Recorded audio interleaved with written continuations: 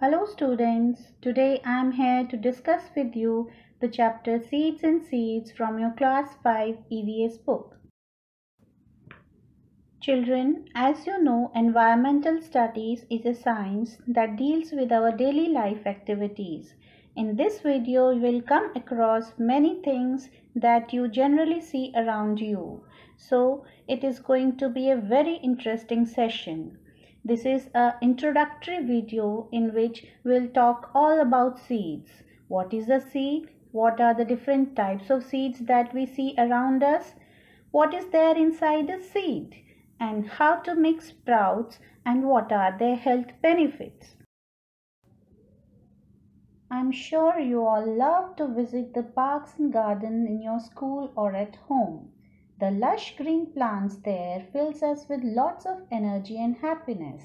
The world of plants is so amazing. Trees and plants give us so many things. Can you name some of them? Well, here is a video to help you out. Why do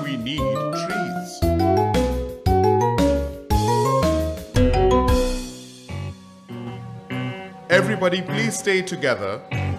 Today we're going to learn more about trees. Who can tell me why we need trees? Trees provide us shade on a hot day like today. Good, Snake.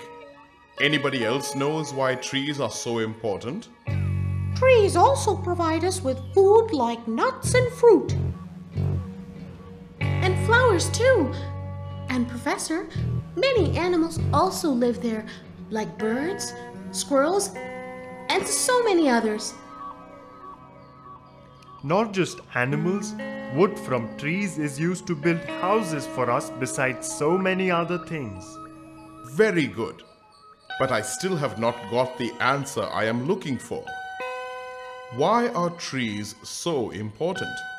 Anyone? Trees provide us with oxygen that we need to breathe to live. Really, Professor? How is that? Our body breathes in oxygen and we breathe out carbon dioxide. Trees do the opposite. That is, trees breathe in carbon dioxide and release oxygen. In this way, trees make sure that we have pure oxygen to breathe, without which we cannot live. Professor, is that why many people say that we should not cut trees, but plant more trees? Yes, it is very important to protect trees, and we should also try and plant as many trees as we can. So now you must have understood the importance of trees. Let me recall it for you. Trees are homes to different birds and insects. Trees have a big role in bringing rain. Without trees, the climate would be drier and hotter. Trees provide shade and keeps the temperature cool. Trees give us medicines which we can cure when we are sick. Trees protects the soil from getting eroded. And trees give us fruits and vegetables which we like to eat a lot. And last but not the least, trees take in carbon dioxide and give us the life-giving oxygen which is very important for our life survival. Well, when the trees are so important for us, have you ever thought that from where does these plants and trees come from? All these plants, may be the big banyan tree or a small shrub, they all grow from a tiny little seed. Come, let's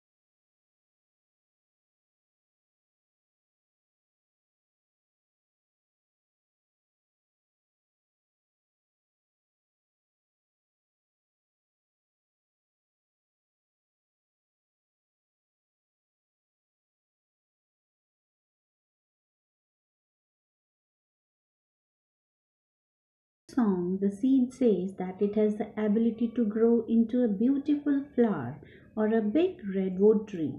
Children, do you know which is the largest tree in the world? Yes, it is the big redwood tree and it is found in California.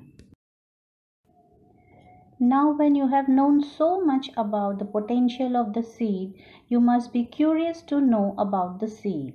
That how does a plant grows from a tiny little seed? Well, let's learn all about this. You must have seen beautiful flowers around you. It is these flowers that produce the seeds. Hence, all the flowering plants produce seeds. Seeds are the tiny parts of a plant that gives rise to a new plant. Come, let's see what's inside the seed. For this, we will take help of some kidney beans. We call them rajma in our local language. When the seeds are dry, they are difficult to open because they have a hard covering on them. To make this covering soft, we will soak the beans in water for an overnight. We will find that now the seeds have become softer and bigger in size because it has absorbed water. Now it's easy to remove its outer cover and open the seed. The outer cover that we have just removed is the seed coat. Inside we can see a fleshy white part. It is called the cotyledon and there is a curved part at one of the tips which is called the embryo. Let us understand the different parts of a seed through this diagram. There are three main parts of a seed. The first and most important is the embryo. We have learnt earlier that the seed has the ability to grow into a new plant. It is this embryo which has the ability to give birth to a new plant. That is why we also call it the baby plant. Then we have the cotyledons. For the growth of the embryo, food is stored in the seed itself in the form of cotyledons. The seed coat is a protective covering that protects the cotyledon and the embryo inside the seed. Some seeds have two cotyledons. That is why they are called dicots. For example, the gram and beans. While some seeds have only one cotyledon and hence they are called monocots. Can you give example of monocots? Yes, the moon, rice and wheat are examples of monocot. Now that we have learnt about what is inside a seed, Let's understand how do seeds grow into new plants. For seeds to grow into new plant, they have to undergo two important processes. They are soaking and sprouting.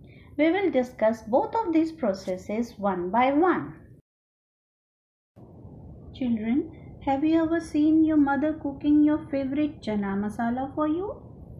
What is the first thing she do? Yes, she soaks the chana or gram for an overnight in water. Soaking means keeping the seeds in water for some time. But why is soaking important? Soaking helps the seed to absorb water and makes its seed coat softer and it makes the cooking easier and quicker. This picture shows the soaking of chana or gram seeds in water before cooking. You can clearly see the difference in the size of the gram seeds. After soaking in water, the size of the gram seed becomes larger because it absorbs the water. Can you name some of the things that are generally soaked in water before using them? You must have seen your mother soaking the nuts or rice gram or pulses before cooking or using them. If we keep these soaked seeds in warm place for a day or two, we see some thread-like structures coming out of the seed. Do you know what are these called? Well, these are called sprouts. Have a closer look at the picture. Are you able to see the thread-like structures? Actually, these thread-like structures are the embryo growing into the baby plant. But how are they formed? Well, when a seed gets moisture and warmth, the embryo uses the stored food in the cotyledon to grow into a sprout or a baby plant. This process is called sprouting. So, can you define the sprouting process now? When the embryo or the baby plant starts growing into a seedling, this process is called sprouting. Let's understand it through a video.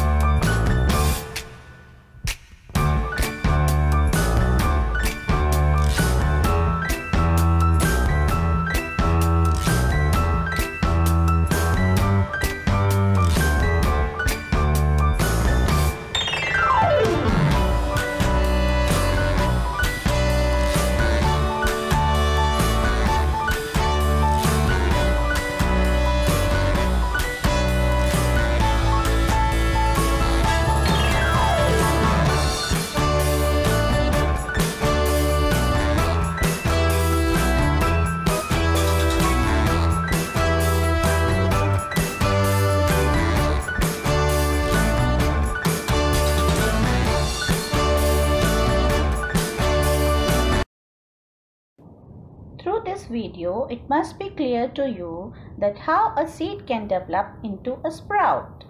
Can you now tell me the conditions needed by the seed to sprout?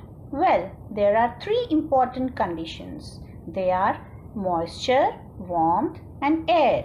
You must be knowing that every living being needs air, water and optimum temperature for its survival. Similarly, when a seed develops into a seedling or a baby plant, all these conditions must be there for it to survive.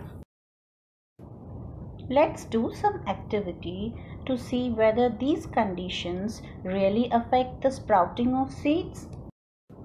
For this activity, you need some chana seeds, 3 bowls and a piece of cloth. Take some chana seeds and 3 bowls. Put 5 chana in the first bowl and fill it with water. Put a damp piece of cloth or some cotton wool in the second bowl. Now keep the same number of chanas in it. Make sure that the cotton wool or cloth remains wet. Put the same number of chanas in the third bowl, but do not put anything else in it. Cover all the three bowls. Leave the bowls for two days and observe that is there any change in the bowels And record your changes what you observe in the table as given in this picture. Sprouts are low in calories and rich in many nutritional components such as proteins, vitamins and minerals. So making sprout a part of your regular diet keeps our body healthy. Sprouts increase the ability of our body to fight against many diseases such as anemia and even cancer. Children, have a look at some of the health benefits of sprouts. So when you have come to know of how to making a sprout and the many health benefits of eating sprouts, why don't you take a tour to your kitchen and surprise your mother with a bowl of tasty sprouts? Children, I hope you have listened and watched the video very carefully and understood all the topics. So it's time to test yourself. Here is a simple worksheet for you. Just go through these simple sentences and if you face any problem, just rewind the video and you will find all your answers. We have talked so much about the seed and its different parts. Can you name the different parts of the seed? Let's have a quick recap of what we have learned in this video so far. We have learned that a seed has a potential to grow into a new plant. Also, we have discussed how it uses the food stored in it to grow into a seedling or a baby plant. We have also discussed the processes of soaking and sprouting the seeds in detail. In the coming part of the video, we will be discussing more about seeds. Till then, take care. Bye bye.